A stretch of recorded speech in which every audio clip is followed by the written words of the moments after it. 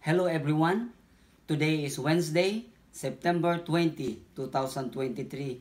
And this is our day 7 for our pull-up challenge. Alright, the goal is 365 days. Let's get it on. Yep. Are you ready, baby? Mhm. Gonna zoom in on that. One, two, three, four, five, seven, eight, nine, ten, eleven, twelve. Ah! We got you a shot.